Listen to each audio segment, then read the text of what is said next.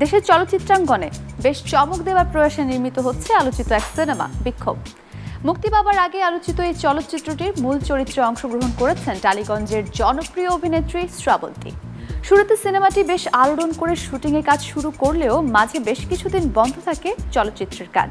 তবে সেই বিরতির পর সম্প্রতি আবারও বিএফডিসিতে হয়ে গেল বিক্ষোভ সিনেমার তৃতীয় লটের কাজ। এতে অংশ নিতে কলকাতা থেকে আবারও উড়ে আসেন জনপ্রিয় নায়িকা শ্রাবন্তী। শামীম আহমেদ, রনি পরিচালিত এই ছবিটিতে শ্রাবতীর সাথে অভিনয় করছেন চলচ্চিত্রের নবাগত নায়ক শান্ত খান।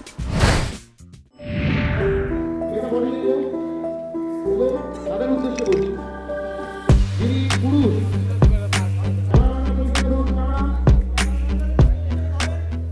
গত বছরের শুরুতেই ঢাকার রাজপথে সড়ক দুর্ঘটনা নিয়ে চলচ্চিত্র নির্মাণের ঘোষণা দেয় প্রযোজনা সংস্থা শাপলা মিডিয়া। ছবিটিতে পশ্চিমবাংলার জনপ্রিয় নায়িকা শ্রাবন্তীর অভিনয়ের কথা নিশ্চিতভাবে জানালেও তার বিপরীতে কে থাকছেন সে ব্যাপারে প্রথমে কোনো ঘোষণা দেননি প্রযোজনা সংস্থাটি। তবে পরবর্তীতে জানানো হয়, শ্রাবন্তীর বিপরীতে কাজ করছেন নবাগত শান্ত খান।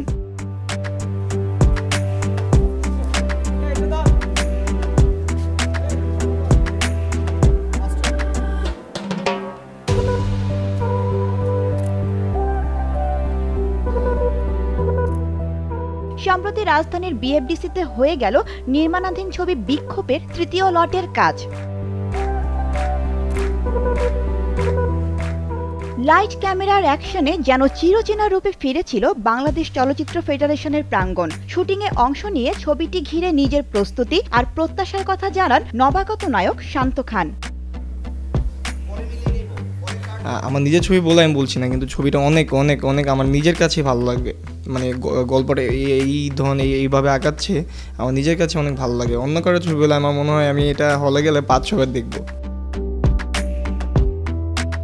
পারিবারিক সমস্যার কারণে মাঝে বেশ কিছুদিন শিডিউল দিয়েও শুটিংয়ে অংশ নিতে পারেননি বলে জানান পশ্চিম বাংলার জনপ্রিয় চিত্রনায়িকা শ্রাবন্তী। তবে বিক্ষোভ ছবিটিতে এবার তার অংশের পুরো কাজ শেষ করবেন বলে জানান এই টালিউড অভিনেত্রী। ভীষণই ইন্টারেস্টিং লাগছে আর এটা যেহেতু বাংলাদেশের একদম একক ছবি, আর খুব ভালো একটা মেসেজ আছে এই ছবিতে। পথ দুর্ঘটনা মানে সড়ক রাস্তায় যে রোড অ্যাক্সিডেন্টগুলো হয় সেটা নিয়েই আমাদের এই ছবিটা। তো বেশ একটা বোল্ড ক্যারেক্টার অনেকদিন পর আমি পেয়েছি, যেখানে অনেক কিছু করার আছে। এই আফরিল লাইফে অনেক কিছু ঘটে গেছে, যেটা সিনেমা দেখলেই বুঝতে পারবে।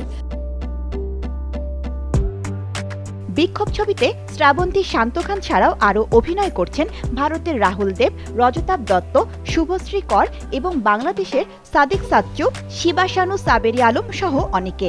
শামীম আহমেদ রনির গল্প ও পরিচালনায় ছবিটির চিত্রনাট্য লিখেছেন দেলোয়ার হোসেন।